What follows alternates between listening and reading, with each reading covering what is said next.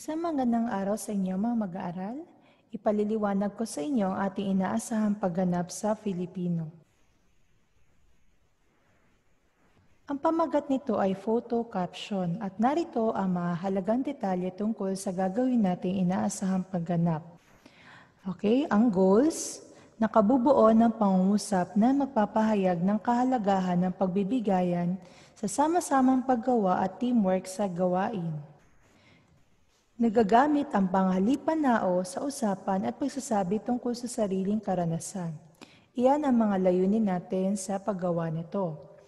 At dahil napag-aralan na natin ang tungkol sa panghalipanao, kaya niyo nang gumawa ng sarili niyong mga pangusap gamit ang mga panghalipanao.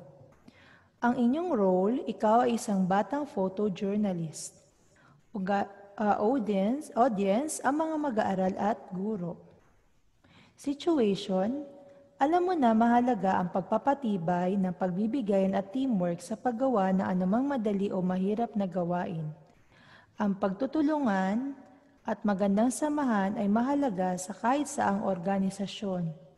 Kung ang mga tao ay nagkakanya-kanya ay hindi nakapag kung ang mga tao ay nagkakanya-kanya ay hindi makapagtrabaho na maayos ang lahat. Kaya ipakita mo sa pamamagitan ng larawan ang pagtutulungan. Product, isang photo caption na gagamitan ng mga panghalipanao na tatalakay sa halaga ng teamwork at pagbibigayan sa pagsasagawa ng gawain.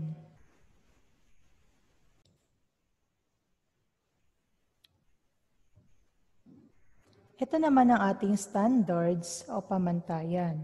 Ang bubuoy ng photo caption ay dapat magtaglay ng pamantayan sa ibaba. Ito ay may limang puntos sa bawat bahagi ng pamantayan. Gumamit ito ng larawang nagpapakita ng pagtutulungan. Okay, maghanap kayo ng isang larawan na nagpapakita ng pagtutulungan. Halimbawa, yung nahanap nyo sa internet, nagpapakita ito ng pagtutulungan. Isang larawan, kahit anong format ng larawan. Okay, pwede rin sarili niyong larawan. Halimbawa, yung pamilya niyo, nagtutulungan ito, nagtutulungan kayo sa pamilya niyo, uh, may larawan kayo na nagpapakita na nagtutulungan kayo sa pamilya niyo, pwede niyo rin itong gamitin. Ito yung inyong idadagdag doon sa inyong uh, photo caption. Nagtataglay na positibo at matibay na mensahe ng kahalagahan ng pagbibigay at teamwork. Yung nabuo niyo bang pangungusap ay nagtataglay ng positibong mensahe na nag papakita ng kahalagahan ng pagtutulungan. Nakabuo na isang pangungusap na may buong diwa. Gumamit ito ng mga panghalipanao. Wasto ang paggamit ng malaking letra. Wasto ang paggamit ng bantas.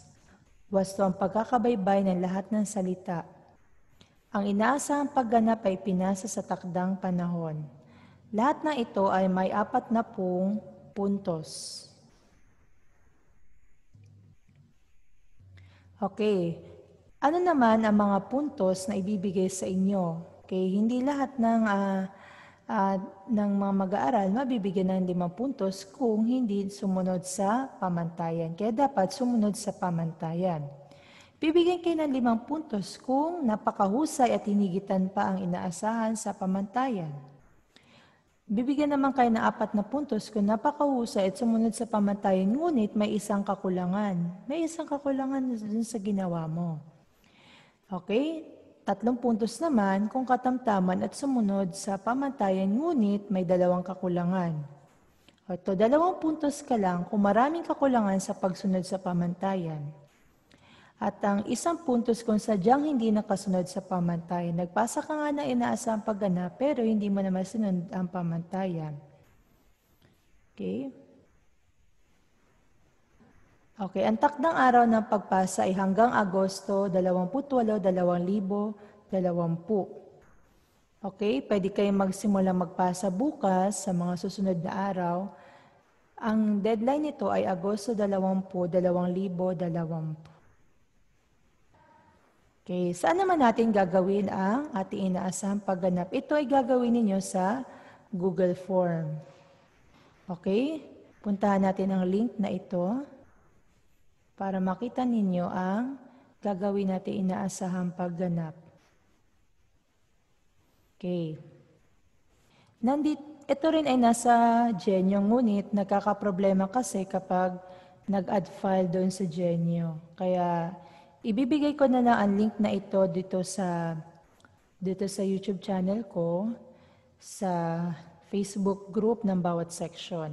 Okay? Pati ito yung buong detalye ng um, gawain ito. Okay? So, ilalagay nyo, yung email nyo, kailangan tama yung email na ilalagay mo. Tama yung spelling. Um, kung gumamit ka man ng malaki o maliit na letra, gamitin mo ito. At hanggat maaari, hanggat maaari ay Gmail ang gamitin ninyo. Okay, Gmail ang gamitin ninyo.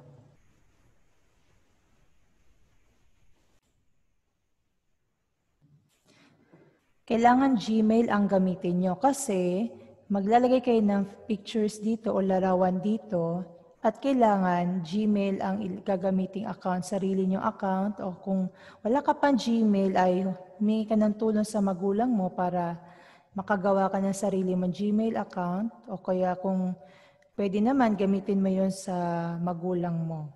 Okay? Ayan. Tamang Gmail ang gamitin mo. Kaya halimbawa, ang aking ibibigay ay sarili kong account. Halimbawa lang ito. Okay, buong pangalan. Kailangan buong pangalan na ilagay.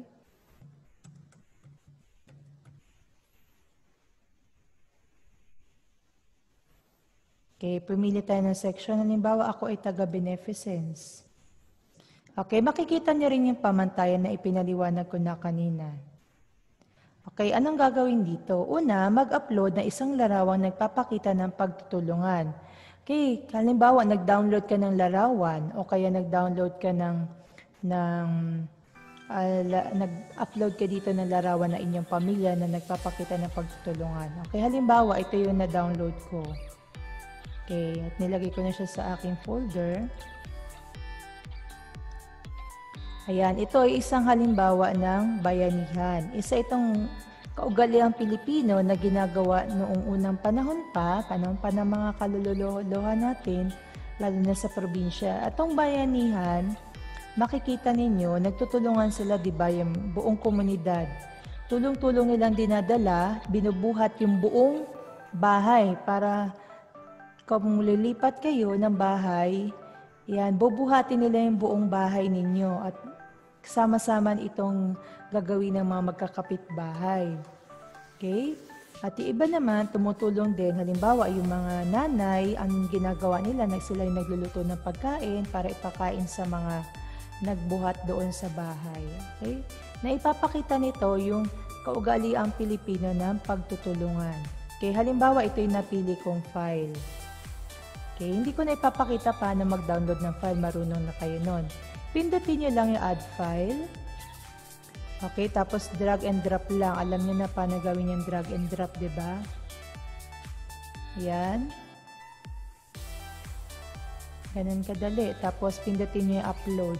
Kailangan pala ang inyong file ay maliit lang yung ano, maliit lang yung um, size nito. Tulad nito kung ano lang yung size niya, maliit. Okay, dito na tayo bubuo ng pangusap. Bumuo ng isang pangungusap na nagpapaliwanag ng kahalagahan ng pagtutulungan. Gumamit ng panghalipanao. Okay? So, bibigyan dito ng puntos yung pamantayan dalawa. Kaya halimbawa ang ating pangusap, pagtutulungan,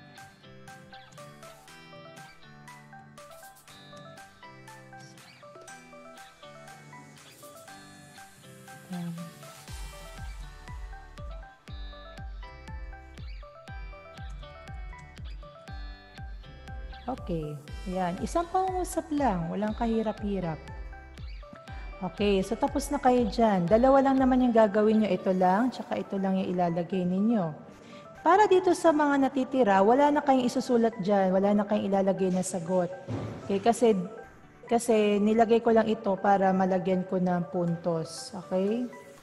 Walang ilalagay dito. Pero dito sa pinakadulo, may ilalagay kayo. Lalagay nyo yung petsa kung kailan mo ito ipinasa. Okay?